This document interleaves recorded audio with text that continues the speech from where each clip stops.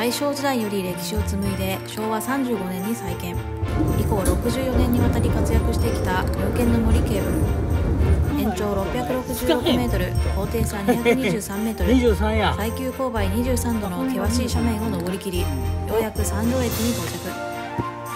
今回は運転を行う運転室ケーブルカーを動かす心臓部である巻き上げ装置を見に行きます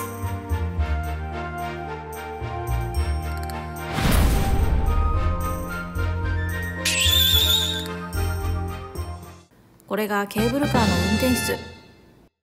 ロープで2両の車両を引っ張って急勾配を上り下りする乗り物であるケーブルカー。その運転は全てここで行います。あれ？でも車内の乗務員は何をしているの？危険や異変を察知し安全運行に支障をきたす場合は非常ブレーキをかけます。いわば電車の車掌のような役割です。では実際に運転してもらいましょう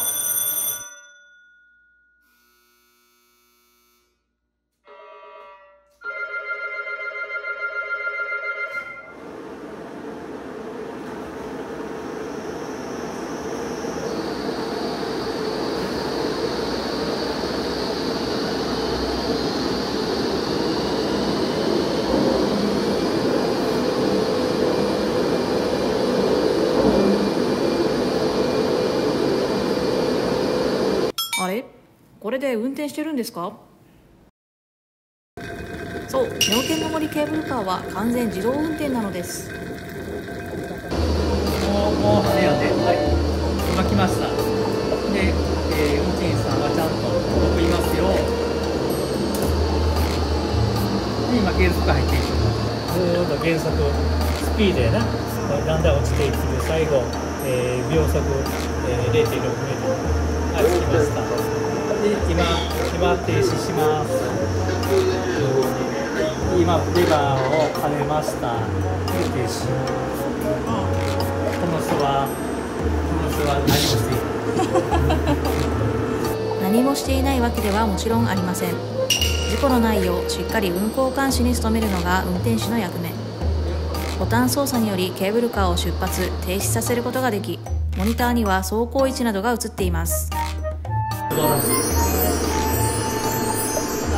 これからもっと働いてもらうものであらら。でこのスティックは、えー今全自動やけどこれはあの手動の時もうちょっと動かしたい点検に動かしたいとか現在はこのように自動化されているケーブルカーの運転ですがかつては速度の調整やブレーキ操作を手動で行っていました制御機巻き上げ装置などのリニューアル工事により自動運転化が完成し運転手はより一層ケーブルカーの運行監視に努めることができるようになりました運転はこのように行っていますが実際にケーブルカーを動かす巻き上げ装置は運転室の下にあります。見に行ってみましょう。こんなこんな中で近代的な設備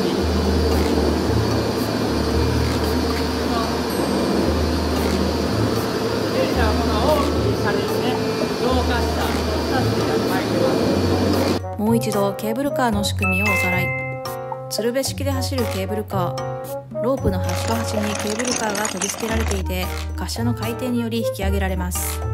でもあんなに大きな滑車を動かすには相当なエネルギーが必要だはず。どうやって動いてるの？少々音がうるさくなりますので今のうちに若干ボリュームを下げてください。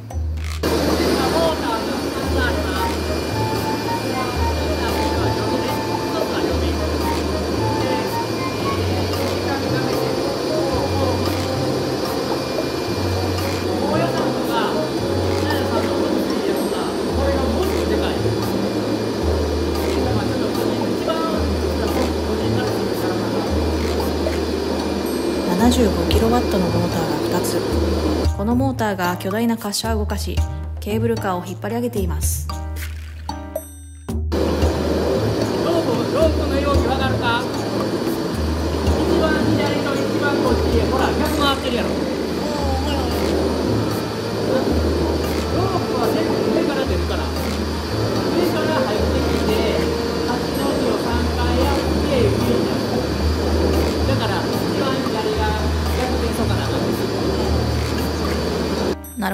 つまりどういうこと？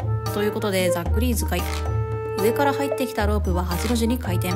これを3回繰り返しまた上から出ていきます。この赤いロープのみ回転方向が異なるということですね。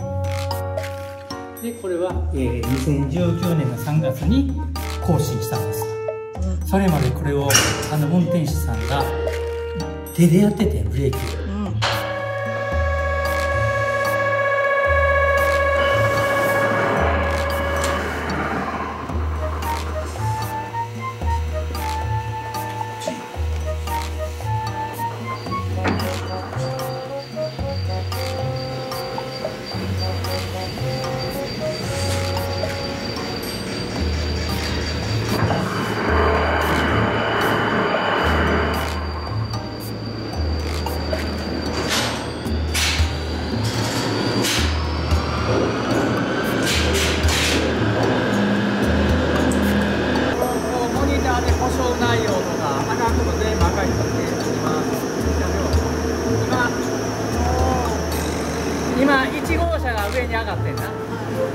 車がロープがずっと今2号車が止まってるこれが現在地が629.2何全部ここで監視してます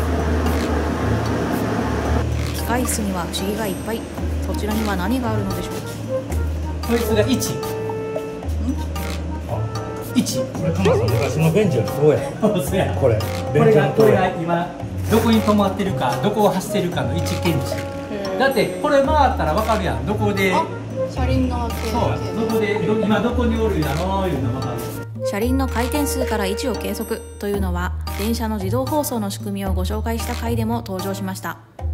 電車もケーブルカーも車輪からさまざまな情報を得ているのです。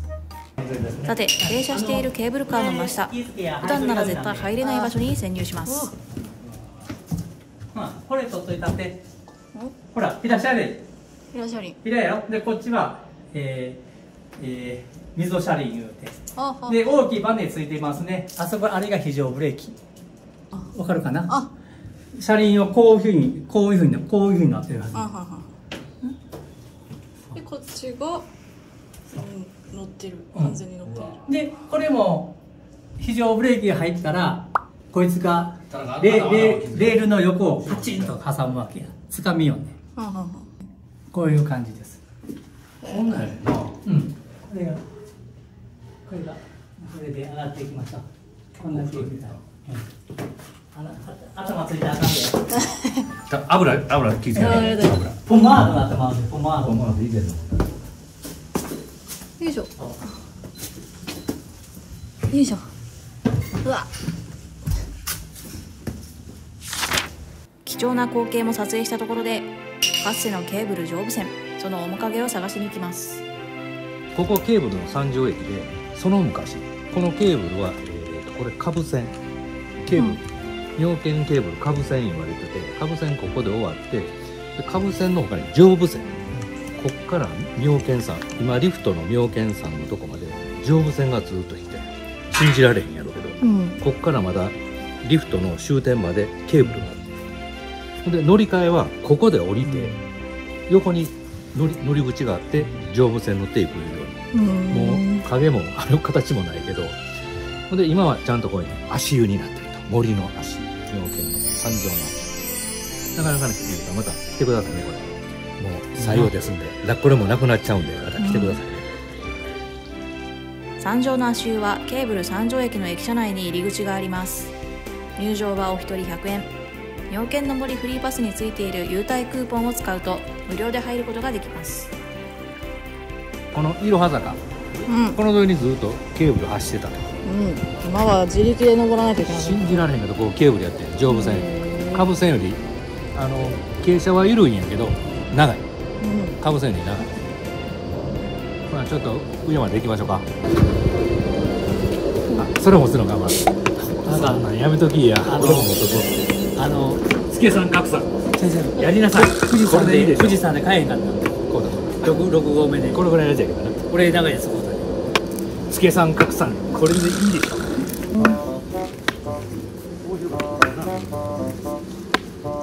だけど8合目からもうしんどいでもうちょっと歩いたらこれしん。どいわ思わまず富士山に登った時のことを思い出すお二人富士山とは比べ物にはなりませんがこのいろは坂も緩やかな傾斜が長く続き実はなかなかきついです。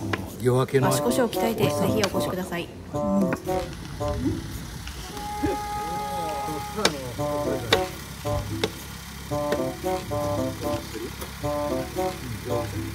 の辺のかなリフトのどの辺かなこれえっ、と上部線あんまりこう傾斜弱いでしょ。これどこか分からんけどこの先でリフトがあるから曲がってんのかな。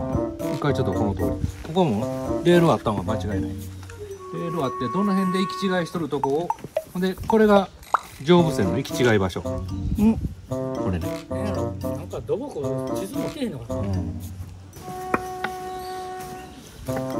が綺麗ですね浜田さん、これがまた秋になったら綺麗なんねもみじ。いろはもみじ浜田さんさやっぱり車両は上手な説明、ケーブルの。別人のカメラさんもあれやろ、なんか急にモード入った。あんま言葉ばっかり言うてるカメラさんが。急にモード入った。お利口さんに喋りはるあの山の形まさしくせや。そうやろ？やっぱカメラさんすごいな。動物的感がある。うん。一緒やほらここちょっと大体行き違いのとこもでこれな昔の田中さん絵はがきやねんだけど、昔の妙見工作鉄道がこの絵はがき出したはんの。ここや行き違い場所。ここにちょっと行ってみよう。かなとこれ写真なんか大正時代やろなこれ。左からかい右から描いてるもんな道あほんま。妙妙見。面影がないですね。うん。まあそれでこの写真撮ってくれたはったおかげでこういう検証ができるのかな。かつてのケーブルの線路がリフトとなり幾度かのリニューアルを経て現在しみじみと思いを馳せます。多分これが上部線の行き違い場所。その先ですね。うん。だからこうケーブル曲がってて高野山ケーブルも曲がってんな曲がってんの。も普通やねん、別にいけんねんな、うん全然。ケーブル曲がっとって曲がってるとこが多いんちゃうかな。まあ不思議だな、うん。まあこれが上部線の行き違い場所ですね。ずっと下から歩いてきてケーブルの黒海からずーっとつながってたというすごいね。やっぱりそんだけその当時はみ妙見信仰がすごかったから。すごいことやったねこれ。まあ今影も形もリフトになってるけど。アジサイが綺麗けど。もうこれ最後のアジサイが今年最後やから田中さんようアジサイ取っといてな。うん。ねカメラさん。そうやな。今日今日ちょうどええ時ですわ。うん。綺麗ね。うん。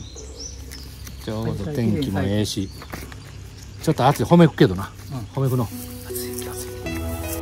これまでたくさんのお客様を乗せてきたケーブルとリフト。能勢電による妙見の森関連事業はまもなく終了を迎えます。